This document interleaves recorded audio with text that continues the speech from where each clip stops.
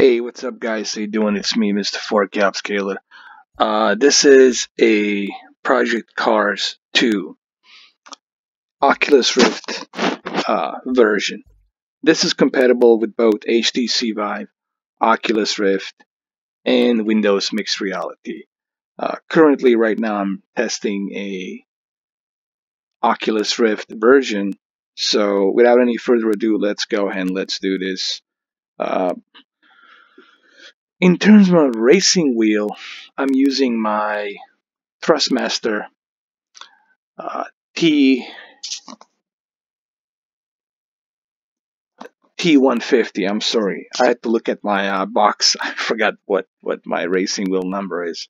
I'm using a Thrustmaster T150, and uh, I do have my graphics set to high, and uh, I have to tell you that VR has come a long way, especially on the PC with the Oculus Rift and uh, HTC Vive. I'm using a Alienware 17R4.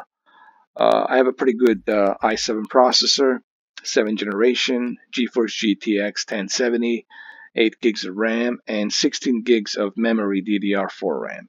Anyway, without any further ado, let's go ahead and let's do this.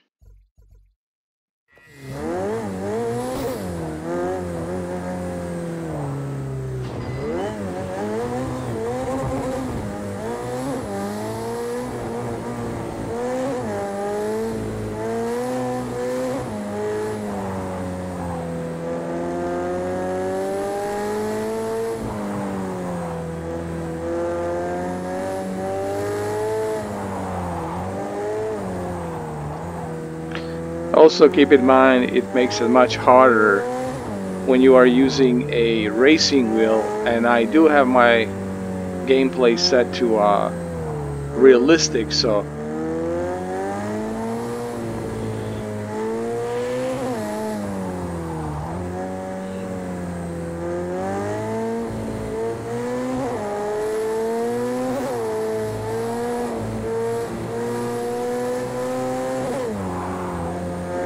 I purposely put a fog in the game so that way you guys can uh,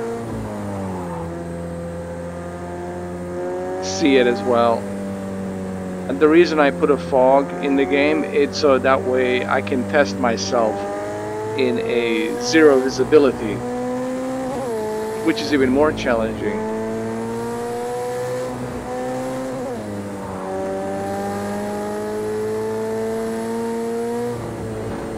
But listen, uh, the VR has definitely come a long way.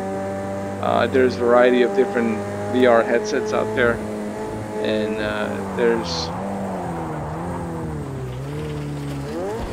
there's plenty of um, VR games to choose from. I mean, there's really truckload of VR games, especially on a PC, on a Steam VR, uh, and then when you combine that with a PC and the Oculus Go and uh, Gear VR, there's there's really a, a truckload of content.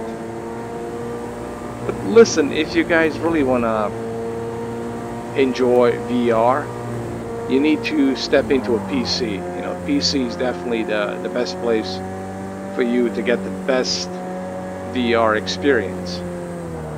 Now, I'm not holding anything against PlayStation VR, sure for the console PlayStation VR, it's the only thing there is. It, it's the best. No.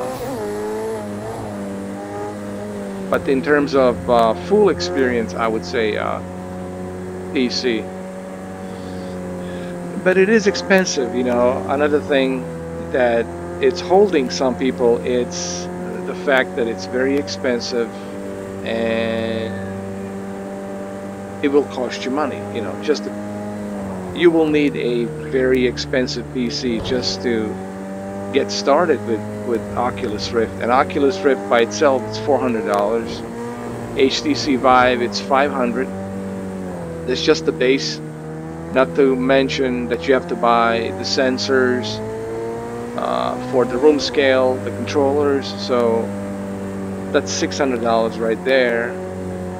Plus the PC. So you're looking roughly about around somewhere $1,800 altogether or $1,500 altogether.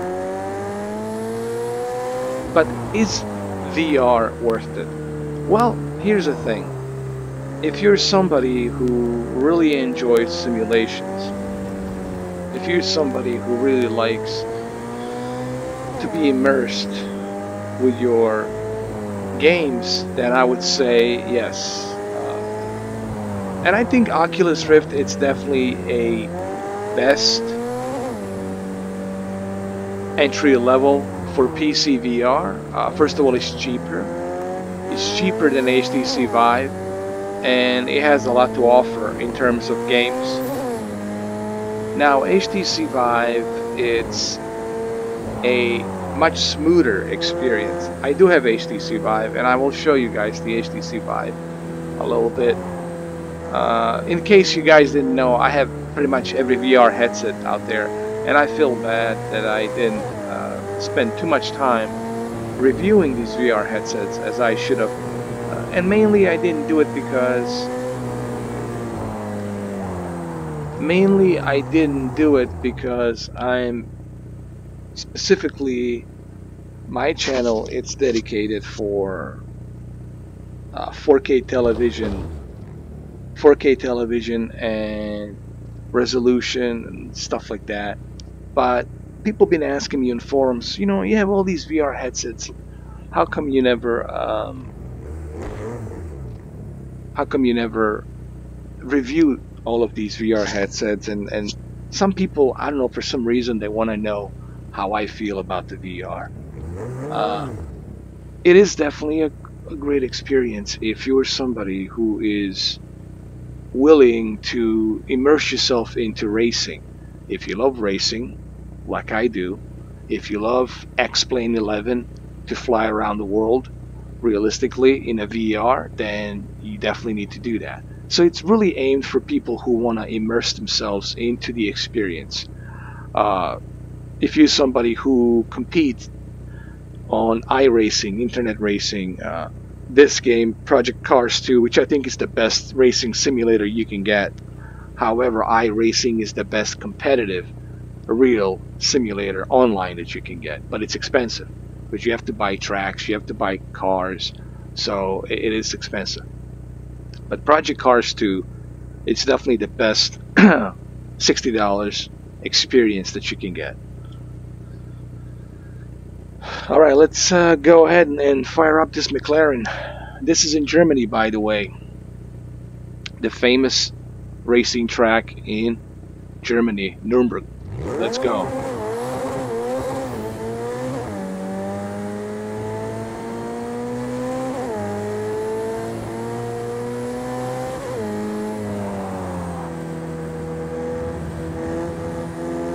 Now, if you have a really good rig, like a really good racing wheel, and you have this Oculus Rift or HTC Vive, then you're definitely going to be in a full-blown simulation, racing simulation experience. But yes, I recommend that you have a racing wheel, at least Thrustmaster T150 to get you started. Uh, I have Thrustmaster uh, T150 and it works like a charm as you can see right here. No issues, no problems. Uh, the performance will is going to depend on what type of PC you have, what type of uh, specs you have on your PC. That'll depend on that. But uh, if you have an i5 processor, uh, a decent like 1070 or 1060, you should be okay. I would prefer 1070 graphics card and definitely 16 gigs of RAM. It's a must.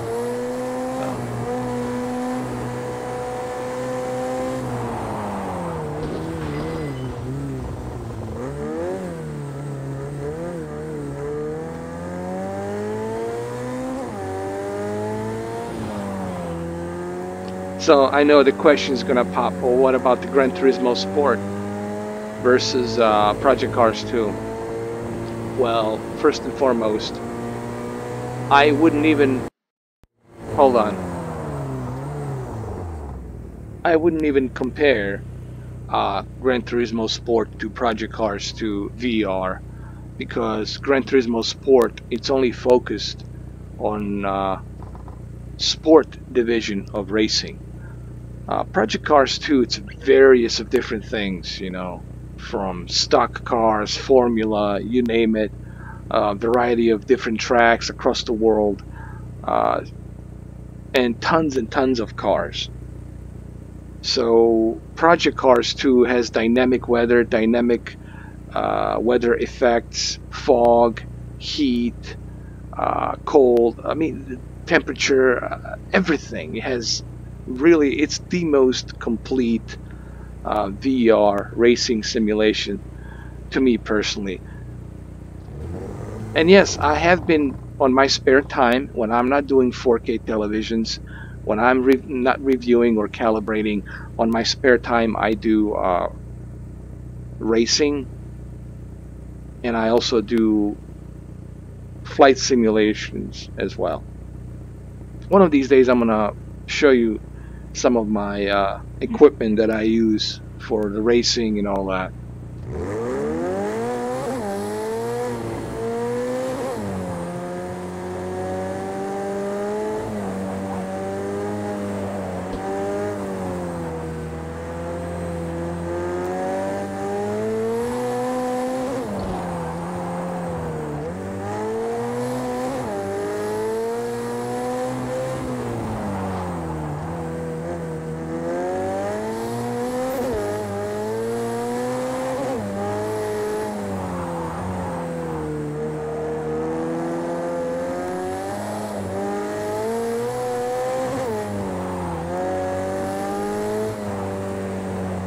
This is probably one of the most difficult tracks in the world, especially in Germany. And uh, I'm playing this on a very hard difficulty.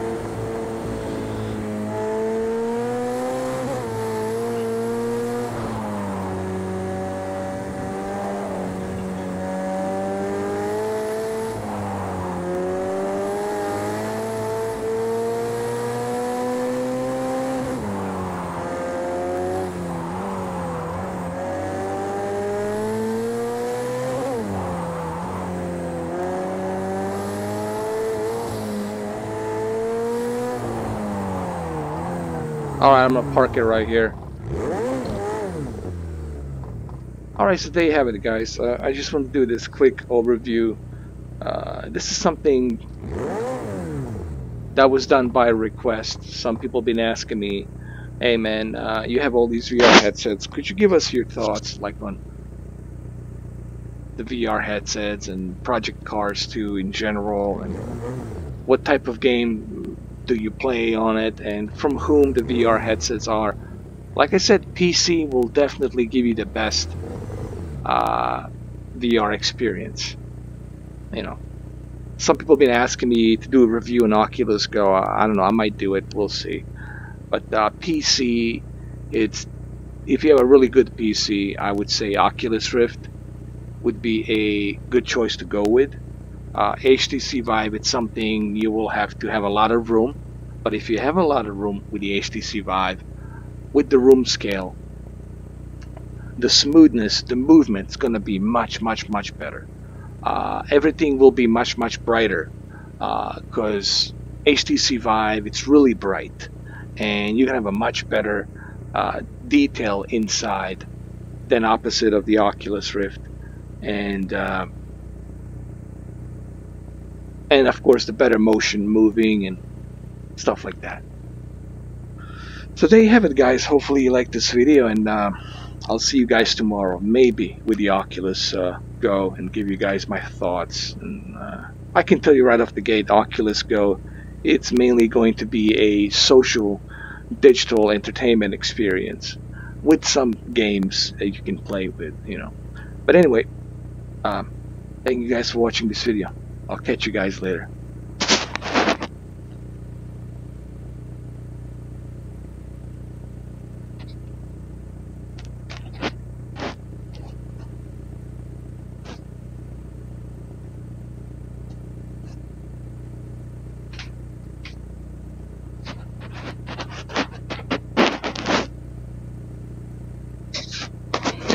I just wanted to do this for you guys a little bit to give you a little sense of uh, see the graphics are beautifully when you have a really good graphics card then you're going to enjoy the detail much better